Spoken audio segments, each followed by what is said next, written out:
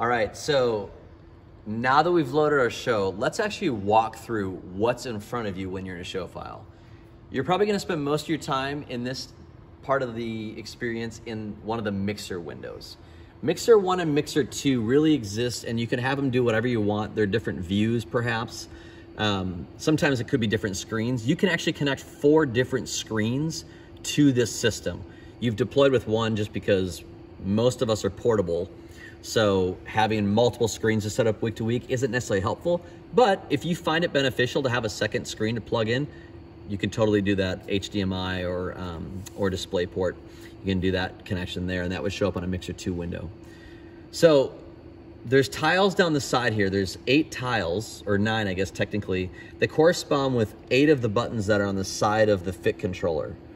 So as I would page through these, it would actually coordinate and page through what's happening up top here, as long as I've got this set to reflect what's happening in my Mixer 1 window, and I can walk through that in a different video. Right now, I'm just looking at the All tab, let's see if we can get some movement here going. So we can kind of see all of our uh, inputs moving, some of our outputs are kind of uh, showing here, our monitors. But you can see in this package right here, here's our 64 inputs. And I've got them kind of color coded in terms of what the instrument grouping is. And then groups, auxes, and those are kind of green, maybe a light green and a dark green. And then matrices, and then link DCAs. Uh, over the evolution of LV1, it's been called link groups, it's been called DCAs.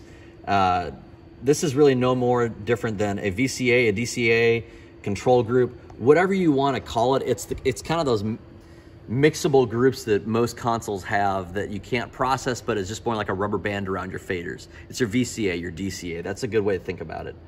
Um, and then main and monitoring are also down here. So this is kind of your overview page. That's the all button. If we jump up here to 1 through 16, these are the top 16 channels. In this case, we've built it out so it's drums and then a bunch of extra stuff. If you're doing an acoustic set or maybe like an Ocean kit week to week, you could have maybe your cajon or a djembe up here, maybe a toys mic.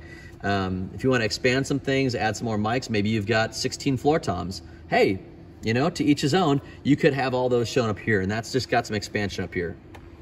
The next one down in 17 through 32 is what I like to refer to as the rest of the band. So here's bass, maybe some tracks, a couple of the guitar channels and they're running stereo, maybe a track guitar, a couple acoustics, a spare channel if you want to throw in maybe a violin or a cello in there. Here's some keys lines. In this case, we've got some backup keys lines as well. Hooks and loops coming from Ableton in our case. And then jumping down into 33 through 40, I've got vocals. So you've got vocals one, two, three, and four maybe some BGV track to Ableton. You want to add maybe five, six, seven, eight, because that's the way you're rolling for Easter. That's kind of rolling here. And then the in-ear vocal channel, and I'll get into that in just a minute. MDs, clicks and cues, if you're using those, down at here, kind of here's your host mics, your headset mic, your talk mics, whole lot of extra expansion, and then video and MacBook for maybe ProPresenter, uh, maybe a, a MacBook separate from ProPresenter. Um, so that would be all of your inputs. Going down to the next tile, this is tile five, you've got your groups, and I'll walk through how this is all routed, your effects, monitoring. LV1 actually does up to 16 stereo mixes. So if you found yourself in a situation where you had 16 people on stage, uh, you could drive all of their in-ears from this console, which is kind of batty if you actually think about it. But since your system deploys with four PSM 300s, that's kind of monitors one through four, and then the two wired packs, if you've got those, five and six would be in here. This kind of built as a default mix and a default template to kind of get you going real quickly in here. Moving down, masters, um, left center mono, Q talkback, just different ways to get audio out of the console. We actually have this set up working with the matrices as the primary outputs. And I'll tell you why in another video, um, but that's where all of our audio cascades out is through matrices.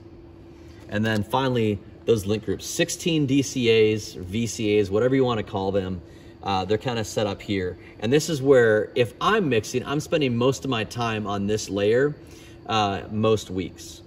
So those are the eight tiles. The top four, again, those were our inputs and the bottom four kind of on the output section.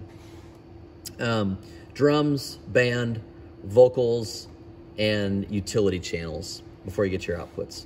We'll get into more of these in the next video of kind of more of the specifics and then walking through some of the modes you can choose to view these in.